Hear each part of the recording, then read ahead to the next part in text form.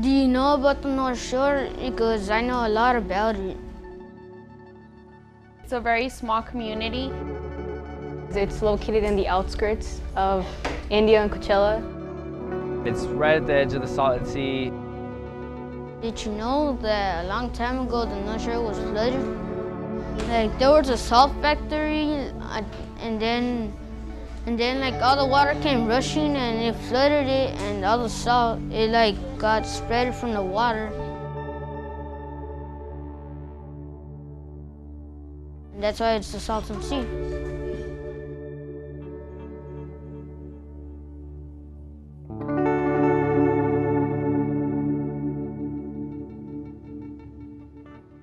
The idea for a park in North Shore really came after fully assessing the needs of North Shore. The residents went through an extensive process to really list all of the needs that they could think of. And it became clear very quickly that uh, a public space would allow us to address issues of environment, issues of food, uh, issues of recreation, all in one project.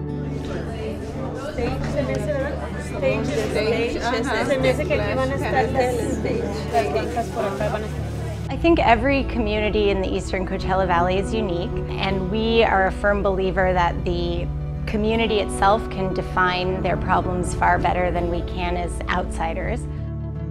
We do see common themes, and those themes typically um, revolve around food, access to quality, nutritious, affordable food. Always there's a component um, around children, children's safety, children's activity, and there seems to be a big challenge around water. Water patty. Water splash. Ah, ponen un rec- ah, para que no gasten mucha agua pueden hacer un recycle y pueden hacer con un poquito de para que no se salga el agua y no se haga Sí. mud y mosquitos. Sim. Agora o pavilhão está aqui. Quizás vá cambiar um pouquinho aqui, dependendo das regras da da cidade. And so the park itself, uh, in many ways, looks like a regular park. It'll have a playground and outdoor fitness equipment and a pavilion for barbecues and family celebrations. But it'll also have these other layers of economic activity and arts and cultural activity. Bike Repair Shop. Entonces este es el pabellón donde va a tener, quizás van a tenemos el, um, el de la sombra y también del Bike Repair Shop. We're helping design a five acre desert park with the North Shore community. In addition to all that, we're gonna have a bike hub. And what this bike hub's gonna consist of is a bike share program and a repair space. It's important to include a bicycle element because locations in North Shore are pretty far away, so bikes are really the key right here. Through our bike share program, we hope that we'll be able to connect the four different pockets of North Shore to each other and to this physical park. Hola, bienvenido, buenas tardes. Ah, tenemos este nachos y tenemos raspados. Si gustas empezar con nachos o raspados o si con un raspado, ok, seguro que sí. Several of the women in the community have gone through an entrepreneurship training program to start small food-based businesses that will be part of a weekly marketplace that takes place in the park. Por ejemplo, eh, hablar al condado, a ver qué se permite, qué no se permite, hacer un plan de negocios. Ha ayudado mucho. De no ser por el plan de negocios, este, tal vez no estuviéramos aquí porque no tuviéramos la orientación que necesitábamos para poder seguir adelante. We're calling it a productive public space because it's much more than just a recreational park.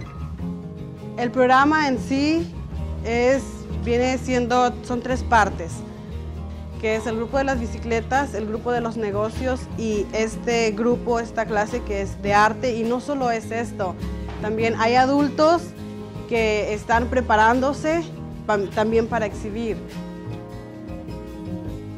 Our approach to the arts and cultural programming here in North Shore is to try to make the narrative about this community a lot more complex, to try to subvert the negative narratives that are associated with the community and really look at the historic, cultural and artistic wealth of the, of the residents.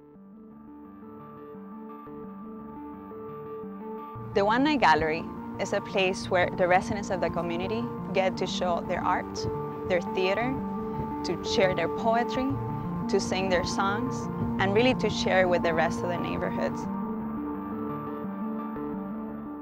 Community right here. We got an art gallery, music, and they're selling yogurt and enchiladas and other stuff, raspados. And um, I think this is a good thing we're doing right here in the community because uh, to inspire young kids. Well, I was kind of shy, but um, uh, I was invited an event and I saw two young guys. They inspired me, so I started taking pictures, and um, it's like I don't know, like like something natural. I think it came out. This is my daughter. It, it wanted to rain that day. It was like a lot of clouds, and uh, I was walking out, and my daughter followed me. And I see a lot of young kids right here, and they're coming more every single time. It's a powerful showcase of the wealth of North Shore.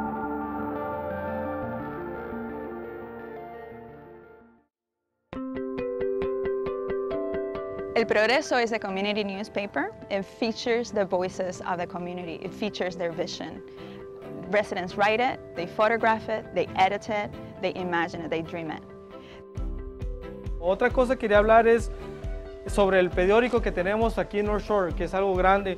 Yo digo que este, este lugar sigue creciendo, el periódico nos va a ayudar a comunicarnos a uno al otro. A mí se me hace uh, bonito tener un, nuestro propio periódico aquí y va, nosotros vamos a ser responsables de nosotros poner los artículos que van a estar aquí. Yo digo que eso es muy bueno, bueno porque aquí vamos a saber como comunidad qué es lo que está pasando.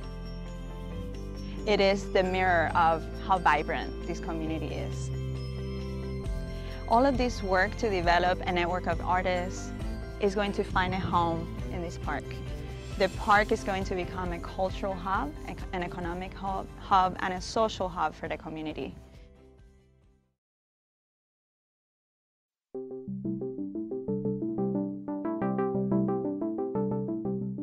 Entonces este programa saca todo a flote, todas las habilidades y todas las, um, estas cosas que tienen energéticas que a la gente le gusta ver.